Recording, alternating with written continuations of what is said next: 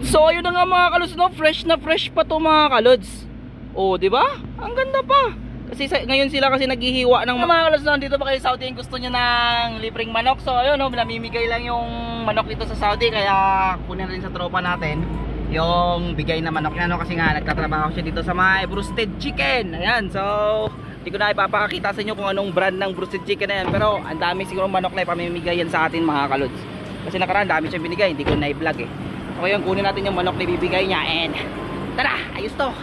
And sobre na mga kalusunan, dito na yung manok na binigay ng tropa natin ngayon. Naku, bigat nito, ang dami oh. Ano ilang kilo kaya to mga kaluts? So titingnan natin mga kaluts kung ano yung mga mga laman ng mga manok na yan ano. So ayos na ayos to. Alright. So ayun na nga mga kaluts no, fresh na fresh pa to mga kaluts. Oh, di ba? Ang ganda pa. Kasi sa, ngayon sila kasi naghihiwa ng mga manok nila and so yung may mga konting ano yan, hindi ko alam kung anong damage dito or something, no? Mali ata yung pagkaka-slice nila. So pagka mali yung slice, so bigay na yan sa atin. Yan, may mga pakpak pa, oh. Pitcho, mga kalods. Ang dami. Ewan ko lang mga ilang kilo to, ang dami, oh. Diba? Ang bigat.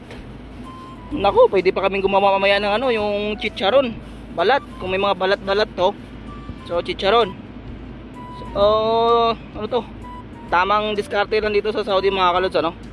Alright, ganda oh, fresh na fresh pa to kasi maganda pa tong brand ng manok na ginagamit nila dito. Alright, so dali na natin sa bahay to.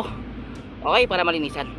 And so bali na nga mga kalods ano. At dahil uh, iniiwan natin yung sasakyan dito sa likod ng shop mga kalods. So maglalakad tayo papuntang bahay ano. So medyo mainit pero okay lang. Nakalibre naman tayong manok. So kumakin mo mga pang one week na ulaman to.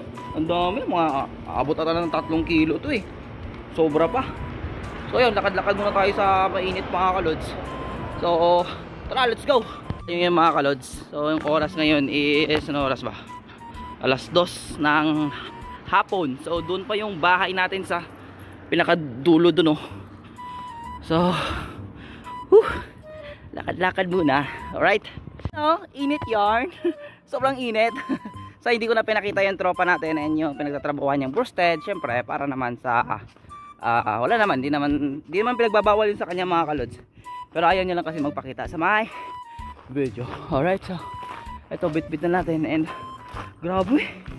Hingal na hingal ako para ako nag basketball Whew, so malapit na malapit na. Ano, daming pakpak ah.